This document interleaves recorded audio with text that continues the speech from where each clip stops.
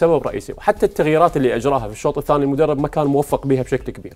يعني أنا من أنظر إلى شيبوب أعتقد اللاعب المستقطب في في الفترة الحالية كنت امل إنه هذا اللاعب يكون مهاجم.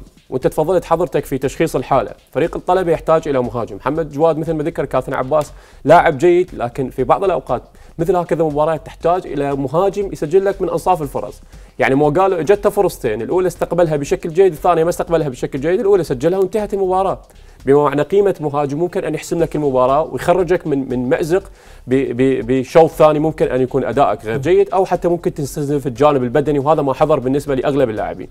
اليوم ذكرت لك عملية التغييرات اللي أجراها المدرب حتى في الشوط الثاني ما أسعفته. طلب في الشوط الأول كان أفضل. أنا أشوف يعني اليوم برغم تفوق القوة الجوية من ناحية جودة اللاعب لكن ما شاهدت اللاعبين أدوا أدوارهم. يعني اليوم محمد قاسم خارج اللعب.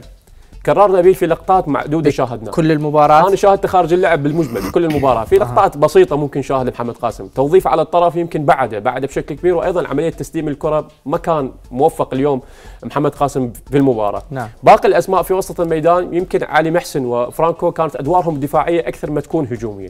بالمجمل أنا استمتعت بالمباراة. لسبب؟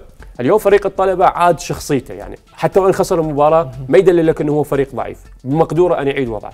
في بعض الأوقات التوقفات تضر بالفرق. التوقف اللي حضر بالنسبة للدوري أنا أشوف آه، يمكن آه، عطل مسيرة الطلبة. الطلبة قبل التوقف من أفضل فرق الدوري اداء صح. بعيدا عن النتائج. وحتى اليوم بالرغم من الأخطاء اللي ارتكبت بالرغم من الأداء في الشوط الثاني المتراجع لكن أيضا تحس أكو فريق يلعب كرة قدم.